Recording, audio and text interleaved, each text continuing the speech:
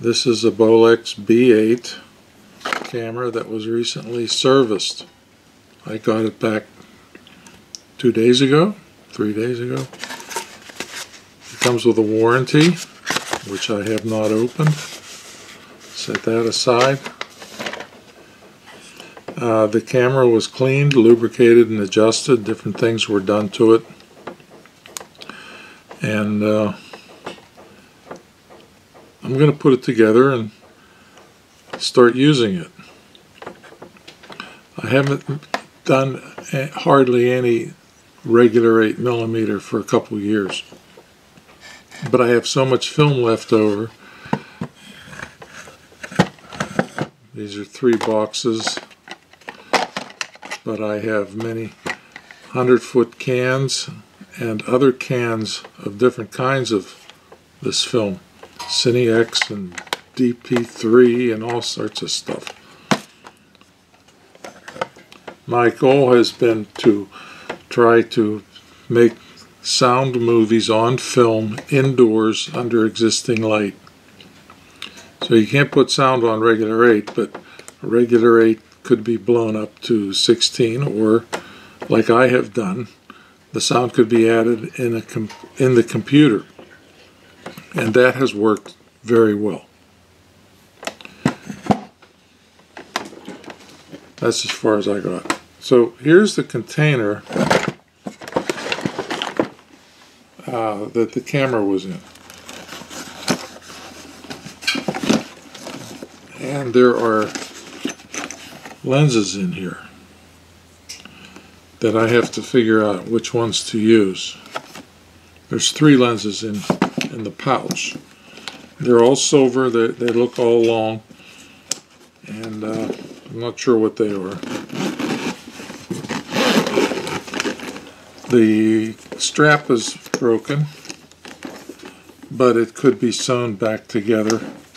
I usually just cut them off and throw them away. Okay, this camera came with this really cool handle take up reel a wide angle adjuster for the viewfinder,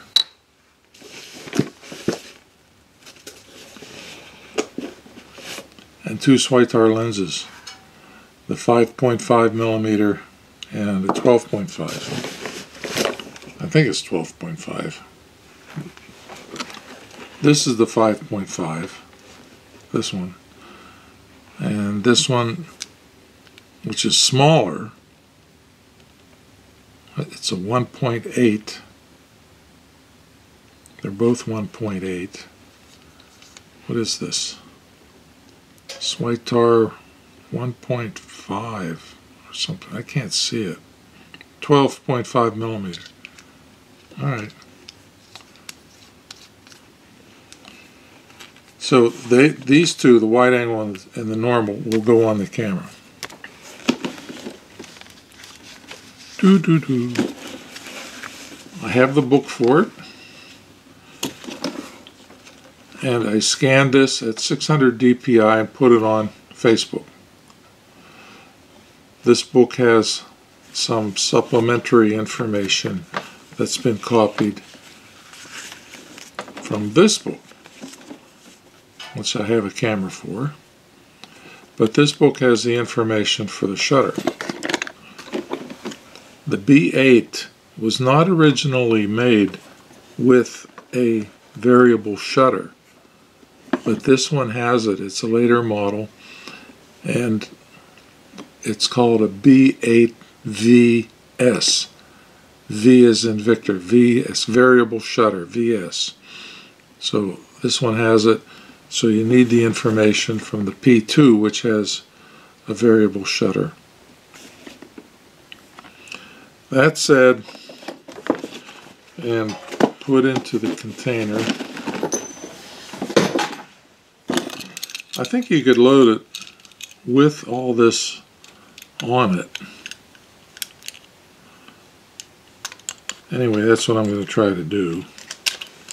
I'm going to put it together and then load it and then try shooting indoors under available light with Fomapan R100 film and I will try flashing it. That's my latest experiment. So the wide angle lens will go on the bottom because I don't want to use it all the time and the 12.5 will go above it.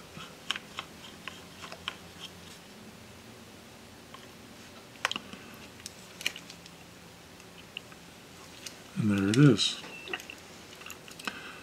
Very, very nice. I like this. Hmm.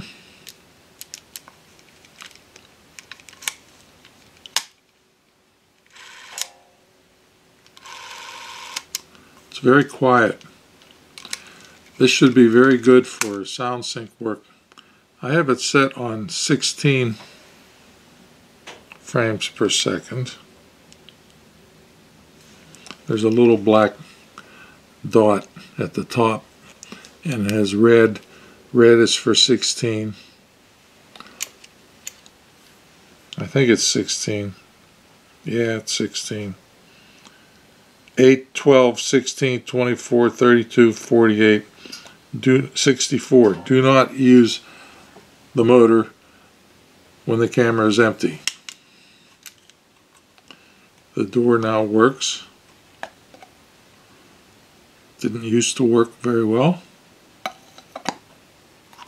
Push, turn, a quarter turn, stop. Tight. Good. Push, quarter turn, open. That's it. Open the gate, close the gate, read the book. This little rubber roller still doesn't seem to turn. Maybe it never is supposed to. I don't know. I thought it was a lower clutch, but what do I know? It kind of turns a little bit. I can feel it. I can't see it, but I can feel it turn a little bit. Anyway, I hope it works. The camera smells like it's been lubricated. It has a slight odor. Alright, so what I'm going to do is I'll use the Fomapan R100. This film is longer than the Lomo developing spiral, the 25 foot one. That's the smallest Lomo developing spiral tank and which I would use. However, the film, when it comes in the box, doesn't fit. You have to, if you use all of it, okay? That's what I'm trying to say. If you load the camera in the daylight, you cut off both ends and then develop it. Because the film on both ends would have been flashed by the loading and unloading and flipping over process what I do is I load the film in total darkness, flip it over, and then I get to use all of the film. So I use the medium-sized Lomo developing tank for 50 feet.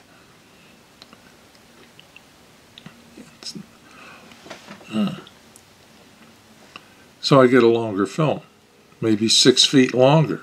You know, whenever you take six feet of regular 8 film and you split it in half, and join the ends, that's 12 feet of film. If you take three feet off of each end, it's probably too much, but let's say you just do three feet and you split it, that's six feet of film. At 80 frames per foot, whatever that is, at 16 frames a second, that's a lot of show time. So either develop it twice as I have done using the small Lomo spiral tank or develop it once, all of it, on the medium size.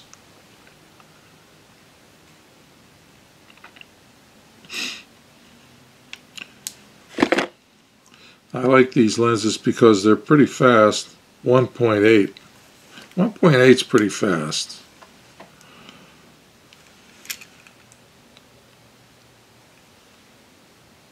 This looks like it's a 1.5. I need a microscope to see it, but I think it's a 1.5. 1.5. It is. It is. It's F2, F1.5. They focus. They're a little snug. This one's real loose. The wide angle's very loose. The 12.5 is a little tighter. It'll be really interesting to watch these movies. Oh, I want to put the viewfinder back on. This thing is for 6.5 millimeter. So it's not exactly the right one. Close enough. Hmm. How do you put it on? There you go. Just slide it over. So you would set this on 12.5. This is the, the viewfinder. Set the viewfinder on 12.5. Then slide this over and you get 6.5 millimeter. You could read it there. So that's what's on the camera. The camera is all equipped, ready to go. I'll read the manual about how to load it because you use two reels with the film connected to both then you drop it in and put it behind the gate and shut the gate. So you don't put it in and then put it on the reel. You do it first.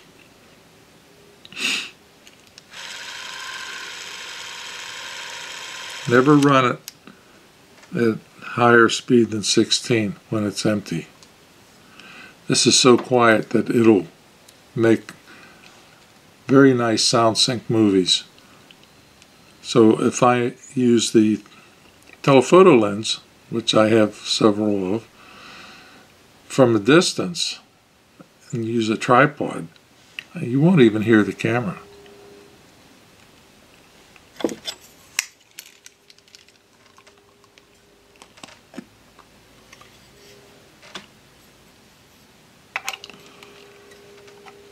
The posts only have a little flange at the bottom.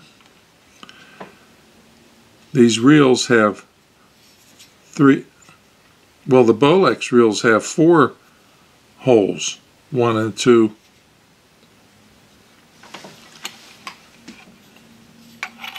So you put this so the one is up, and like I say, you get the film, you put the film in one hand, and the reel in the other and you connect them and then you drop them you open the gate and you drop them into the camera. Like that. Close the gate and the door and you're ready to film. And when you're all done with your masterpiece you could send it to a lab or do it yourself and blow it up optically on a JK optical printer to 35 millimeter film. The gate only costs $1,200. the optical printer costs about $15,000. But you know, that's Hollywood. But you could start with $15 for a roll of film.